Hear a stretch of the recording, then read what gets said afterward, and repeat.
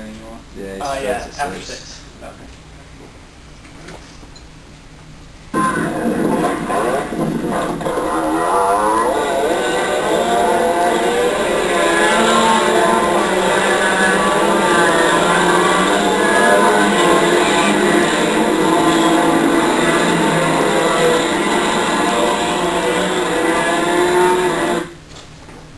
In Europe, they call that moped racing.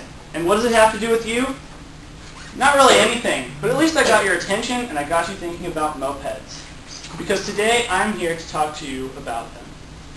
We all as college students, want to become independent, but yet we all don't know the steps to becoming fully independent. But one of the steps that we can use is to get a vehicle. Today I want to talk to you about why you should get for your first vehicle a Honda moped over any other kind of vehicle to use at college.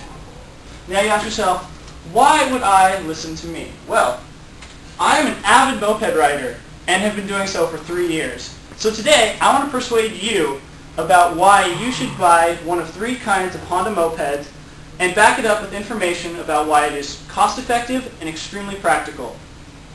So first off, we must begin with the basics. The DSA Guide to Riding states that the main physical difference between a moped and a motorcycle is that a moped, you don't have to manually shift gears while you ride. Also, mopeds mostly come with engine sizes less than 250 cubic centimeters. So, when you look at Honda's motorsports uh, brochure, you see the following. Honda has three different categories of mopeds, or three different engine sizes.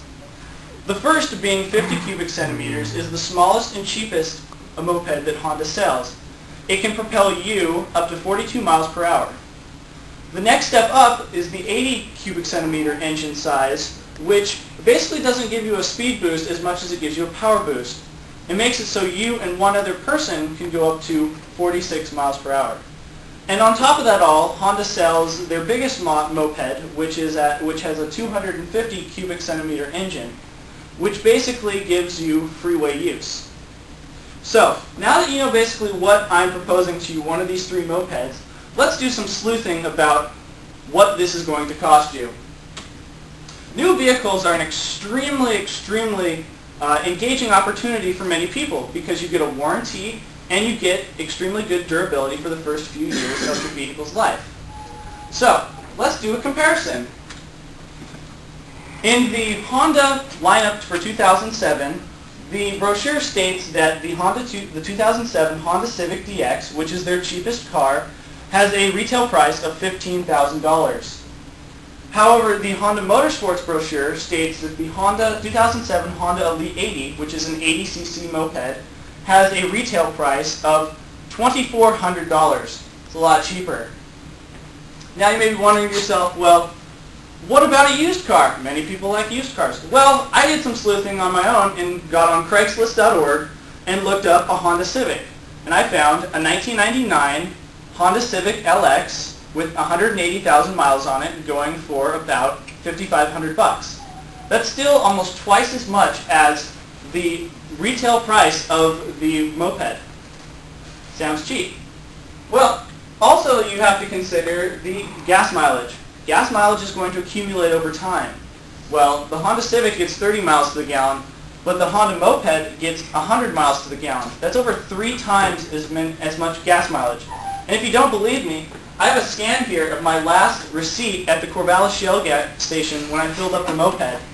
You can see it cost me all of $2.74 to fill up the moped. That amount of gas will go for almost an entire week of riding around campus and into town. The next thing you must consider when purchasing anything is insurance. Insurance is a big factor and will also add up over time. So I got on progressive.com and looked up insurance rates for the Honda Civic online for me and the moped for me.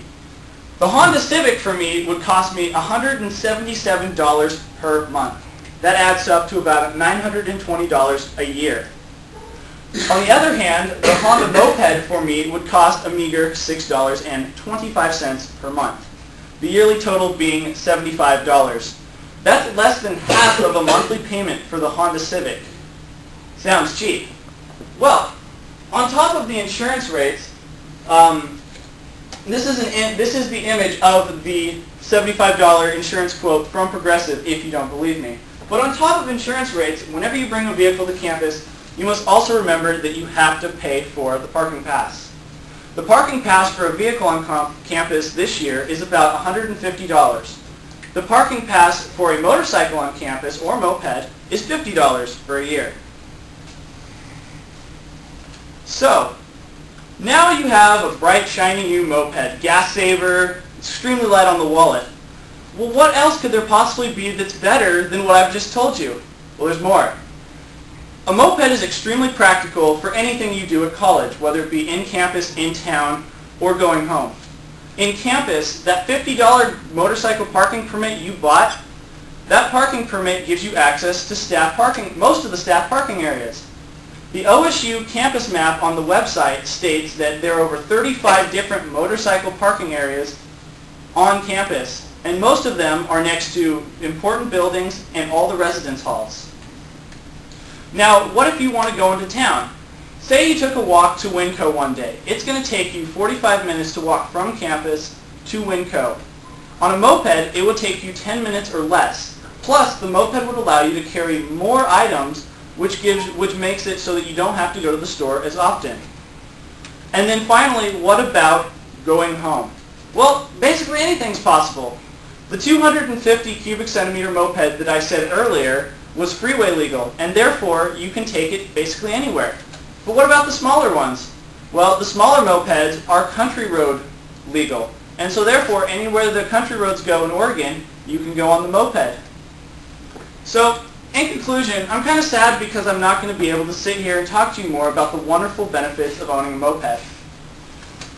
What you have learned today is that the moped is for everyone and that it's a cost-effective and practical use at college, at college when you compare it to any, uh, any other motorized vehicle.